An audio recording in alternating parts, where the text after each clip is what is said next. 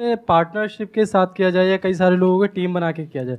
लेकिन मेरे पापा ना चाहते हैं कि तू खुद ऑनरशिप कर मतलब कि लोगों को बस एज अ एम्प्लॉय रख और ये काम कर। तो इसमें मुझे क्या करना चाहिए?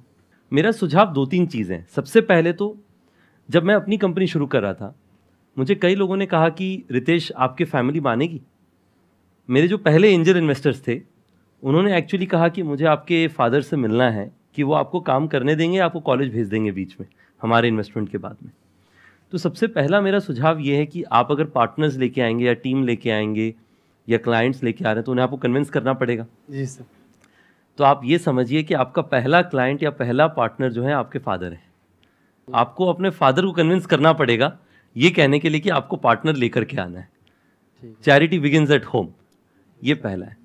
दूसरा आप अपने फादर को एक बार जब कन्विंस कर लीजिए पैरली आपको अच्छा पार्टनर खोजना पड़ेगा। क्योंकि आपके फादर भी अगर कहेंगे किसी को पार्टनरशिप में ले आने के लिए तो उनको ज़रूरी है कि वो अच्छा पार्टनर आए जो कि आके अपना बिज़नेस को टू एक्स करे। यानी एक और एक ग्यारह हुआ सर तो दस परसेंट देने में हर्जा नहीं है क्योंकि दोनों ही आगे बढ़ेंगे। और तीसरा जो मेरा सुझाव है कि आपके बिज़नेस को जो है आप एक ये बताइए कि कितना बड़ा आप बना सकते हैं अगर आप अपने पार्टनर्स को साथ लेकर के आए। जैसे कि शुरुआत में अगर आपका मान लीजिए आपने फादर को कहा कि देखिए आज जो मेरे फ्लावर डेकोरेशन का काम है साल का कितना हो जाता होगा आपका टर्नओवर लगभग? सर अभी तो फ़िलहाल एक्चुअली क्या है अभी तो सिर्फ़ शॉप है। इससे क्या है कि मैं चाहता हूँ ना कि मतलब जब मेरे पास पार्टनर्स हो जाएँगे तो अ, किसी आ, वेडिंग के वेडिंग डेकोरेशन हो गया या बर्थडे के डेकोरेशन हो गया इनका हम ऑनलाइन पर्पज से भी वो काम कर सकते हैं। ऑर्डर ले सकते हैं। हाँ जी ऑल ओवर दिल्ली या कर सकते हैं और बाकी तो सप्लाई तो ऑल ओवर इंडिया ही हम करते हैं। तो सिर्फ़ दिल्ली दिल्ली में दस हज़ार से ज़्यादा शादी होता है। यस सर अगर आपको वो बिज़नेस करना है तो आपको ये सोचना चाहिए कि उसके लिए आपको कौन सी स्किल्स चाहिए? आपको स्किल चाहिए कोई वेडिंग इंडस्ट्री से हो जिसके पास एबिलिटी हो कि सारी वेडिंग हॉल्स में उनकी जान पहचान हो जो आपको फ्लावर्स दिला सकें। यस सर आपको स्किल चाहिए फ्लावर सोर्सिंग में कि आपकी मार्जिन तभी बनेगी जब आपको फ्लावर सही Yes, रेट पे मिले।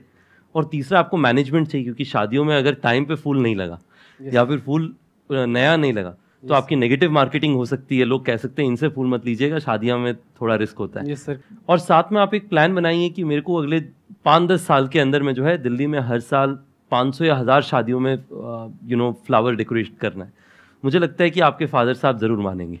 यहाँ पे ये सवाल इतना इंपॉर्टेंट नहीं है कि आपको पार्टनर्स को लेकर के आना है या किसी एम्प्लॉय को ऑनबोर्ड करना है। इंपॉर्टेंट ये है कि आपकी विजन क्या है। जैसे ये कह रहे हैं ना